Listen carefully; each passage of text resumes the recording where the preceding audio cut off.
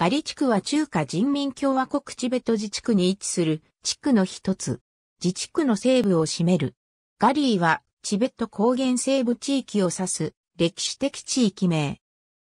日本語ではチベット語に基づくガリ地区、ガリ、漢字表記、アリからの重役のアリ地区という表記が見られる。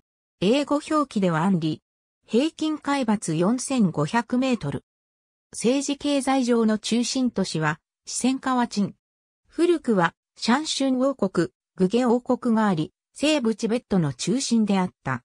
カイラス山チベット自治区の西部に位置する。南はインドのヒマーチャルプラデーシュ州、シガツェ市、東はナチュ地区、北は新疆ウイグル自治区、西はインド、パキスタン間で係争中のカシミール地方と接する。インドとの貴族問題を抱えるアクサイチンを含む。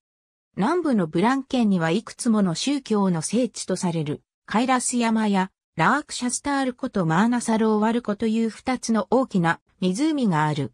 ガリ地区にはシャンシュン王国という国があり、盆教が栄えていた。7世紀に中央チベットで栄えたトバンを支配する一族も、この地区出身だったと言われている。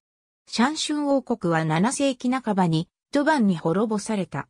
10世紀にはトバンから分かれたグゲ王国が仏教国として栄えた。本地区には以下の7県がある。